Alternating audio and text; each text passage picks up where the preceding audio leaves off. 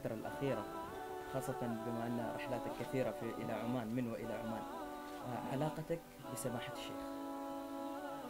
إيه، علاقة جميلة حقيقة. أحيانا بعض الناس تكون لقاءاتك فيه نادرة لكن العلاقة تكون عميقة ومثلهم هذا الرجل المميز. وهذا الرجل كلما قلت انتهى نبله كما قلت في تغريدة كلما اكتشفت أني ما زلت في شاطئ بحر ذلك النبل الجميل. وذلك حقيقة نغبط عمان على مثل هذا الرجل الجميل. تعلمت من الشيخ أن النبل يسبق العلم. وتعلمت من بعض الناس من سوى الشيخ أن العلم أحيانا قد لا يصنع النبل. تعلمت من الشيخ النفس الهينة اللينة. لذلك ربما أنا قلت ذلك الموقف الجميل الذي حدث من الشيخ أنه جاء لزيارتي في مكان الذي أنا فيه. ولم ينتظر حتى أنا أذهب إليه. لما وصلت هنا إلى هنا إلى عمان واتصلت طلبت موعد مع الشيخ. ثلاث أربع أيام ما أعطوني موعد فاستغربت قلت ربما الشيخ مشغول أو الشيخ يعني رسمي ولا لا يبغى مقابلات. بعد خمس أيام اتصلوا علي قال الشيخ جايك في الطريق. قلت لا يا جماعة رجل كبير مقاما وكبير عمر أنا اللي أجي. ثم اللي اتصل فيني هذا قلت بسألك سؤال أخوي كذا. أنا من خمس أيام متصل ما أعطيتوني موعد. وأنا والله استغربت شوي وكذا هل الشيخ مشغول جدا ولا كذا؟ أبى أستكشف. فكان جوابا عظيما بعظمة الشيخ. قال لا الشيخ كان مريض وخجل أن يقول لك تعال أنت عندي أراد أن يأتي إليك. رغم أني لا مقام لي عند مقام الشيخ لا أقولها تواضع ثم جاء للفندق وما لقاني بالفندق.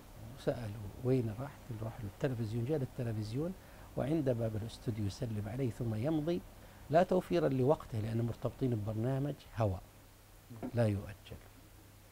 أحببت هذا الرجل أحببت أهل عمان نفسه جميلة نفسه كريمة نفسه أبية. وصلى الله أن يمد في عمره وأن يرزقكم أجيالا متعاقبة من أمثال هذا الرجل والبركة في أهل عمان كلهم.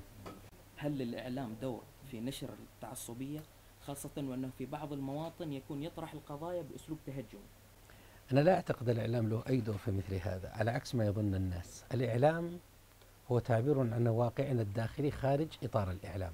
اللي تشوفه في الإعلام هذا اللي موجود في مجالسنا. فمجالسنا هي التي شكلت الإعلام وليس الإعلام شكل مجالسنا عكس ما يظن الناس.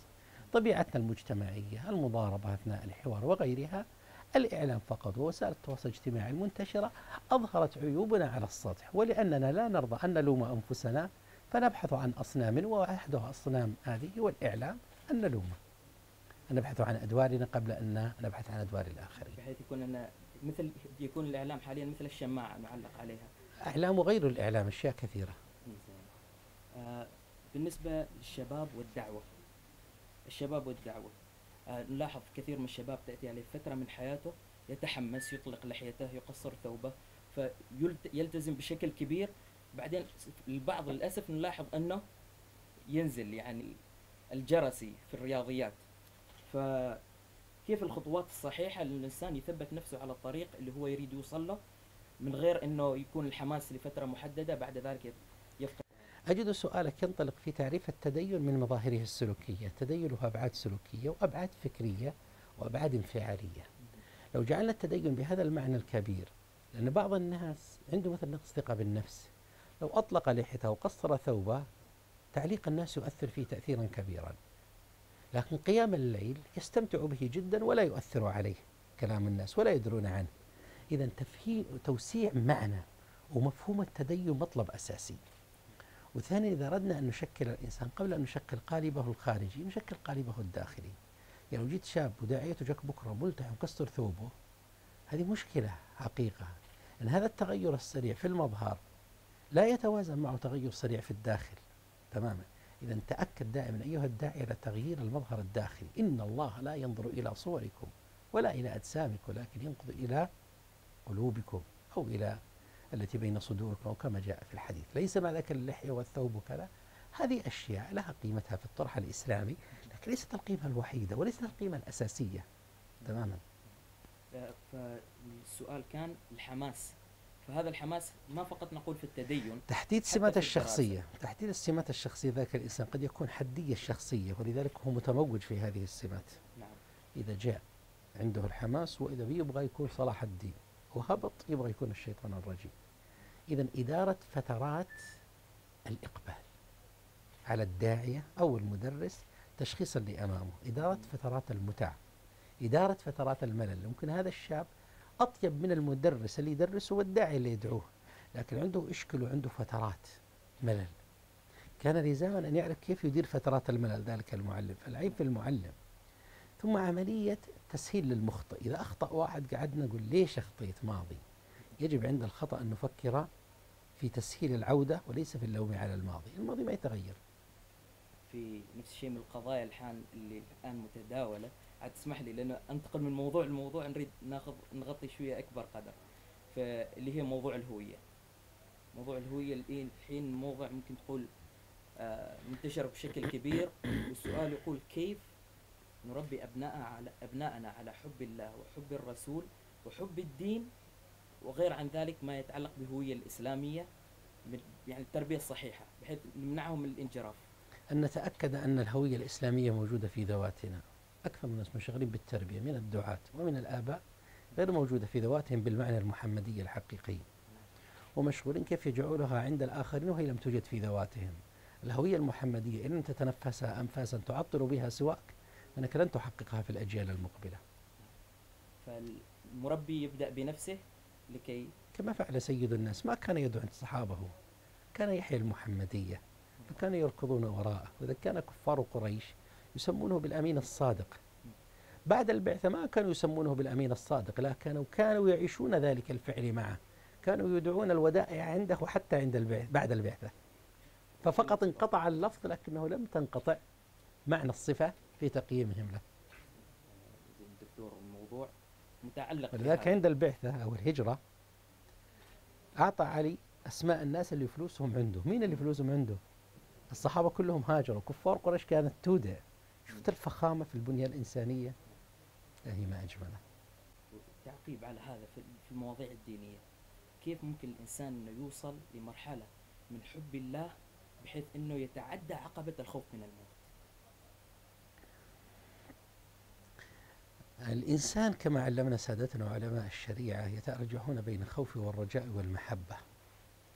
إشكالية من تربى على العنف في طفولته فهذا حينما يتدين يصبح مركب الخوف عنده في العلاقة بالله هو الأكبر لأنه شكل في طريقة تربيته لأن الأب هو رمز الإله عند الطفل الصغير جدا. تماما.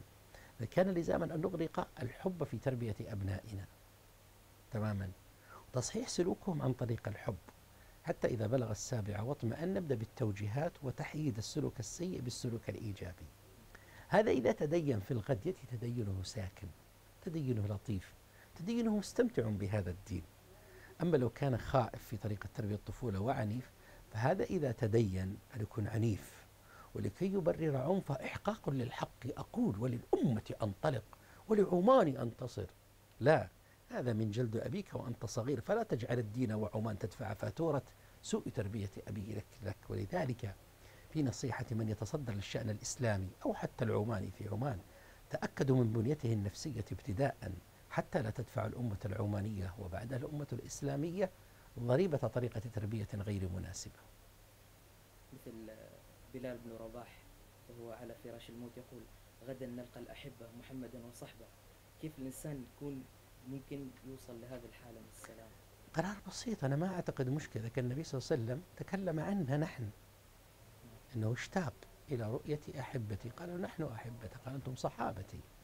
أحبتي من آمنوا بي ولم يروني. ولذلك هناك من الناس في الوقت الحالي من يتجاوزون بعض الصحابة ليس في الفضلية فضلية الصحابة وإنما في العمل الصالح وغيره.